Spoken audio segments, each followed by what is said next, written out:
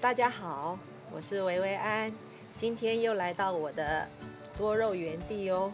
今天我要介绍给大家的是不同的盆儿有什么差别。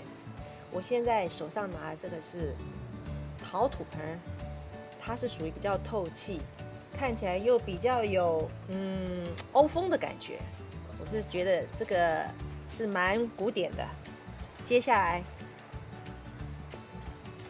这是玻璃盆，我是把它废物利用，玻璃这当时之前是装了一些嗯食物，然后就绑上丝带，但是呢，用玻璃盆要小心，因为它不透气，所以在控水方面必须要好好的掌握。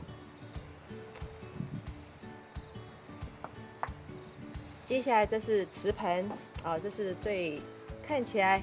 很古典吧，中国风的味道，所以通常都会变成是这样的一个盆景。第四种呢，铁盆呢看起来是比较粗犷，我觉得效果也挺好的，因为它可以把热聚集在中间。基本上我用了，我也挺喜欢的。第四种塑胶盆，那当然就不用说了，我们在户外面买的几乎都是塑胶盆，通常我们买回来之后会把它。